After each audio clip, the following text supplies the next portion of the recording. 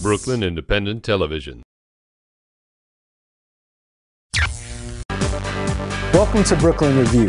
I'm Brian Vines. According to the State Department, by the end of this year, America's Muslim population is expected to surpass the Jewish population, making Islam the country's second largest faith after Christianity.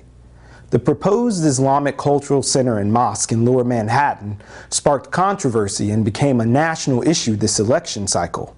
And here in Brooklyn, plans to build a mosque in Sheepshead Bay were met with angry protest.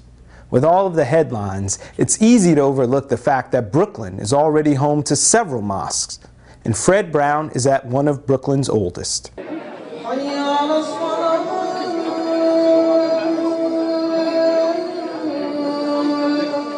just don't want any terroristic organization made the seat here to place this No in mask! our streets. No MAS!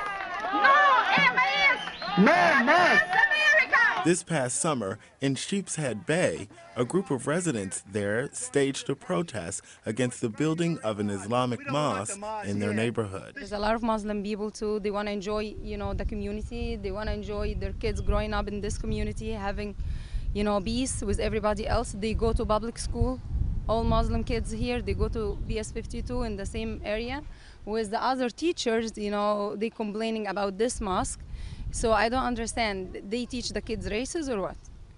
You know, it make no sense. It's just not a place to build a religious institution because it's just going to be too much traffic. There's no place to park.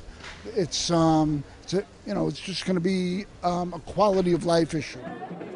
أشهد أن محمد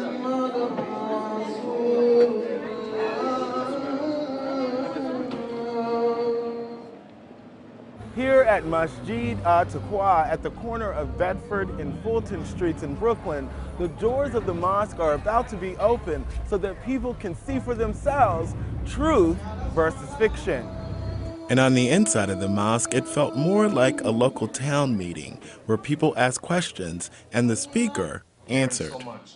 The question is, if our parents are not Muslims, not believers, and they die, can we make prayer for them? According to our religion, we are prohibited.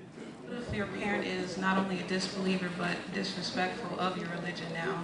How far does the respect between parents go? Be patient, be patient, be patient, be patient. The purpose of the event is to open the masjids or mosques, you know, to the non-Muslims. Uh, to it's, it's an outreach program. In other, wo- in other words, we, we want to uh, interact and interconnect with the community. We've been opening up our houses, you know, for years. There's the idea now that people don't want mosques or masjids in their neighborhood.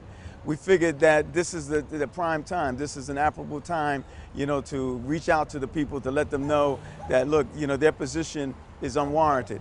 You know, we're not here to harm anybody. Masjids and Muslims are here to, to have a positive input. Input that's apparently had a positive effect on this Bed-Stuy community over the past 30 years. And it, we do it in the best, the best manner. Because I'm Catholic, but I like to learn about different cultures. You know, you can't just judge a person by his cover. You know, you got to come and you got to sit down and and talk to the person.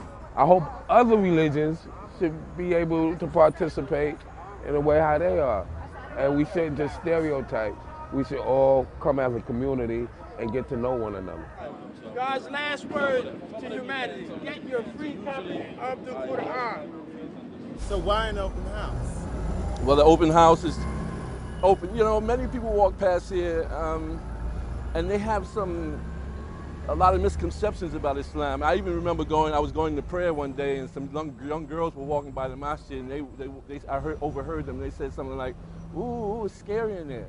I said, well, "Why do you think it's scary?" You know, like, um, it's, it's open. It's, it's wide open. I said, I said, I know some other kind of venues that seem a lot more scary than the masjid. I'm saying there's no statues, there's no, you know, there's no lit candles. There's, everything is bright, it's lit up, and uh, but it's just a misconception that people have about Islam. You know, um, so the house is open for people who have any kind of questions about Islam to come in and, and ask the questions that, that you may have had and that you most people probably do have.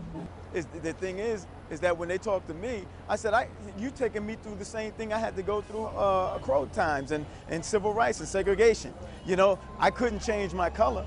You attacked me before because of color. It had no, no, no other reason. It's illogical. It's unreasonable. You know, because you don't understand my religion. So we're saying, come, come and understand my religion. Fred Brown. Become a fan on Facebook, like Brooklyn Independent Television.